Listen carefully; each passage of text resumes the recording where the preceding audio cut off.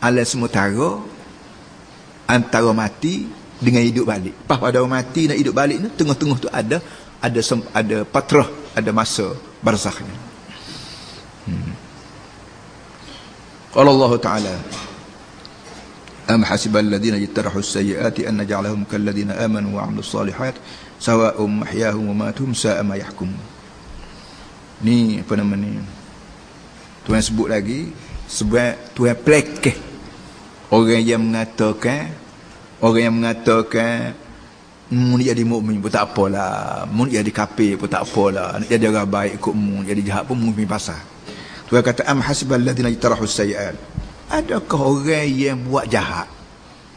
Dia fikir an naj'alahum kamila akan kami buat mereka itu kalladzina amanu wa amilus salat serupa dengan orang mukmin. Mengata dunia ni berasa lekeh orang mukmin, berasa malah nak jadi orang mukmin. Kerana nak jadi mukmin kena semaya. Kena tolong menolong. Kena kerja kuat cari rezeki halal. Banyak kau yang kita kena buat. Setengah orang tu malah.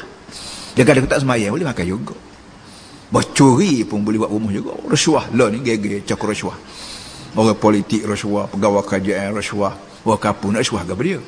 rasuah-rasuahnya orang ni ya kalau tidak bergawar kajian agak orang politik dua tu ya baik. Setengah orang itu berasa tak apa.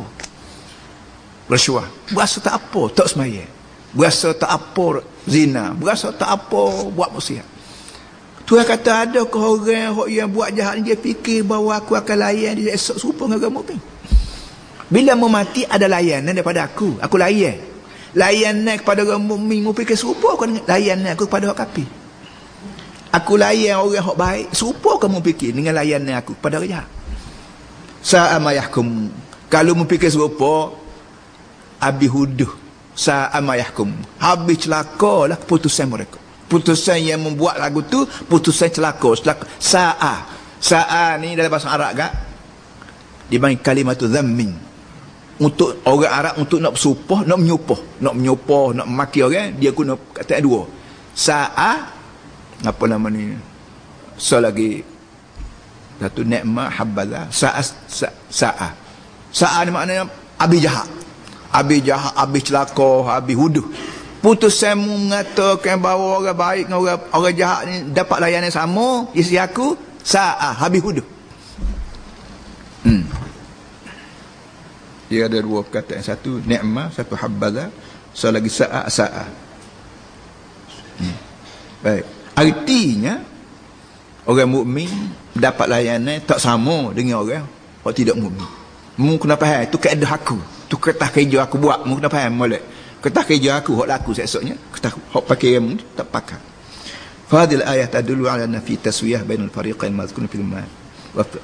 Kata dia, ayat ini terang-terang menunjuk bahawa tidak sama di antara dua kumpulan apa nama ni? Fil mamati wa fatratil mamat. Baik masa mati baik pun masa lepas pada mati. Masa mu nak mati pun aku layan aku beri layan tak serupa di antara hak baik dan jahat. Dan lepas pada mati pun aku beri layan tak serupa di antara hak baik dan jahat. Hiya fatratul barzakh allati nahnu bisarad al hadis anha. Dan hak, lepas pada mati ni lah orang panggil barzakh. Yang kami duduk tengah bincang kami duduk tengah buat kenyataan ni lepas pada mati itulah orang panggil barzakh. Barzakh maknanya sekat tengah bila kita sekat bilik kita tengok ha, balik sana lain balik sini lain kadang ada sekat ha, begitu juga di antara mati dengan hidup balik ni tengah tu Tuhan sekat dengan alam barzah wa idza lam yakun fariqain mustawiyan fil mamat fala budda an yakuna bi tarihu sayiat mu'adzabin amanu oleh kerana layanan di antara baik dengan orang jahat tak serupa artinya layanan kepada orang baik penuh nikmat dan layanan kepada orang jahat penuh dengan azab Hak itulah wa hadza wa naimul qabri wa azab. Hak inilah orang panggil azab kubur pun. Orang panggil azab kubur pun inilah. Orang panggil nikmat kubur pun hak inilah. Kita bahasa Melayu ni tak berapa timbul nikmat kubur. Kita duk timbulnya azab kubur, azab kubur, azab kubur. Sebenarnya dua. Azab kubur pun ada, nikmat kubur pun ada. Kena sebut kedua tapi bahasa kita Melayu tak tahu lah dia sebut so. Azab kubur, azab kubur.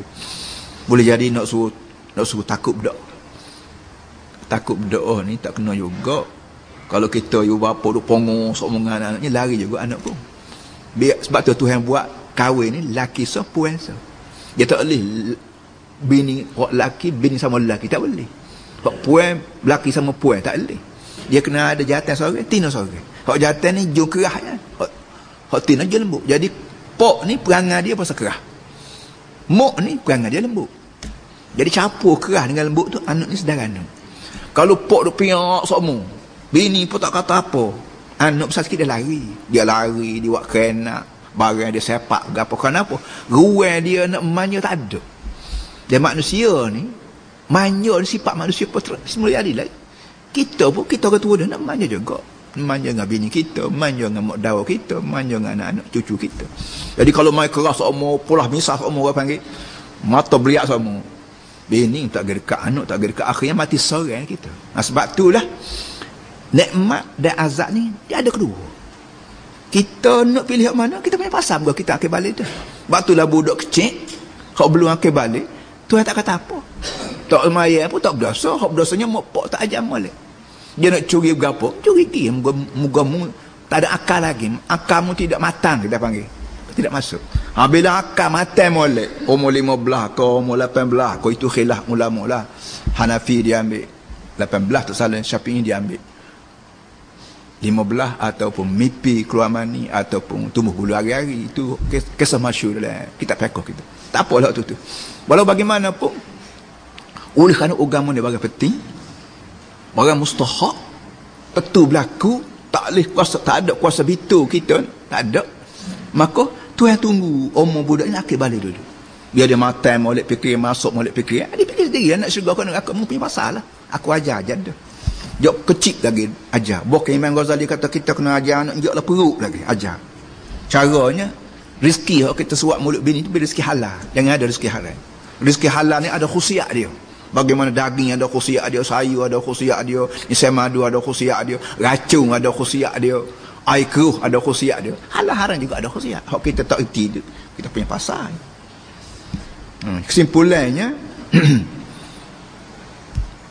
azab kubur atau nemak kubur memang ada Allah Ta'ala sendiri sebut kerana dia kata orang jahat mu jangan fikir aku berlayan serupa dengan orang baik hmm. so qawluhu ta'ala fi sya'ni ali fir'aun fi tuqafir النار يعرضون عليها غدوا وعشيا wa yawma taqumus sa'ah adkhilu ala fir'aun ashaddal adab ayat lain surah ghafir ayat 46 oh, tadi ayat al-jathiyah ayat 21 an-nar yu'raduna 'alayha api ni nar api. Orang Melayu panggil api neraka. Api neraka akan didedah pada orang ni ruduan baik pagi wa asyian baik petang. Wa yawma taqusah adkhilu ala fir'aun ashadal azab pagi petang pagi petang. Orang jahat ni akan didedah dengan neraka api. Balik pagi pun mari neraka kita panggil pensel lak perut senyap. Mari segar tengah hari. Petang mari pula seksa. Seksa ni seksa. Belah mana seksa? Tak berlindung lah. Tapi tak masuk neraka lagi pun mai pagi pun hari neraka petang pun hari neraka hidup hidup beribu tahun lelah ni orang mati. Dia orang mati dah tu. Tak kiamat lagi. Pagi petang siang malam dia itulah. Itu hak gen orang. Hak gen perang perang ni orang apa kita juga. Tapi Tuhan beri kepada dia kuasa. Maka dia salah guna kuasa tu dia guna untuk melawan Nabi Musa. Kuasa yang ada pada dia pengaruh yang ada pada dia harta yang ada pada dia kekuatan yang ada pada dia guna sepenuhnya untuk melawan Nabi. Nabi-Nabi ni bukan orang kapung lantik pewakil rakyat sepotuk gawa untuk kemulu di ni kita lantik. Nabi tu ha lantik. Lantik pula bukan sepuluh kita lantik. Latuk wakil rakyat, latuk wakil rakyat. Ni raja panggil ke istana dengan pakaian istiadat. Dengan kawalan polis dengan gong gendam gapo. Pas dengan saing gapo. Jadi tersa jadi esko jadi dio jadi gapo. Tu kita. Waktu Taala lantik Nabi Muhammad tu dia tak panggil orang tak ada pakaian seragam tak ada napa tak ada dia dengan melek dengan Jibril duk tak pucuk langit eh, pucuk gunung pucuk gunung Ghar Hira Gua Hira mari Jibril senyap-senyap tak baik tak ada Senyap-senyap paling kanan tak ada orang, paling kiri tak ada orang. Dia bersih, tak mana orang panggil, tak ada. Alan tak ada ketika tu. Nabi Muhammad kalau kita baca latih dia kan, dia tak kena kata apa. Mari orang orang yang segar megah. Orang besar tubuh. Dengan siapa waktu Nabi turun daripada gua Herat ni. Kaki, sebelah kaki langit tu katuk. Sebelah kaki langit tu katuk kerana kaki Jibril. Bukan tubuh Jibril, kaki je. Kaki Jibril itu menyebabkan tutup sebelah langit.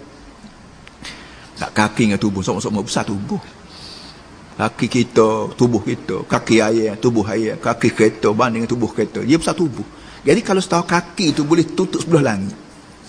Tubuh Tuhan punya tahu lagu mana. Tapi bila-bila gitu pun dia boleh kecil tubuh dia tu. Masuk lagu gua. Hairat tu adik kakak boleh tengok pak lele ni lah. Ambo dia pakai nak naik. Tak jamin nak naik. Tinggi.